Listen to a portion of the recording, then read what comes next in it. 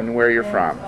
Ah, yes, I'm from uh, Rochester, and um, I have a son currently at Adams High School. So I'm the current legislative chair of Adams High School, and I'm also the uh, council chair for the Rochester PTA Council Legislative Committee. Okay, and so what are, what are you doing here today at the advocacy uh, meeting? Uh, once a year, uh, PTA Advocacy Michigan PTA gets together. We discuss uh, current legislative issues. We also discuss ways of uh, better advocating for our children. So it's a, an educational day. It helps us bring things back to our communities and um, uh, better uh, better serve our community to get out and advocate for our kids.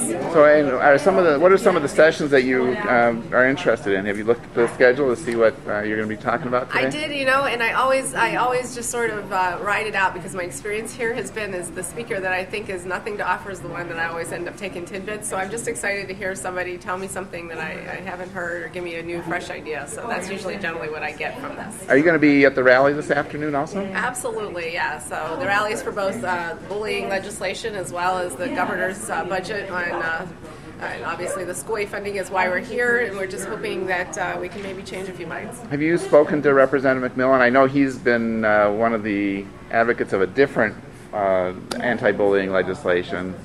Have you had any conversations with him about the Um, we've anti-bullying just legislation? spoken through, you know, via email and uh, in, in his office, and I, you know, I think his intentions overall are good, and so are ours, and we just need to come to head. And all kids need to be protected, regardless of backgrounds and you know differences. So, Okay, great. Thank you very much. sure.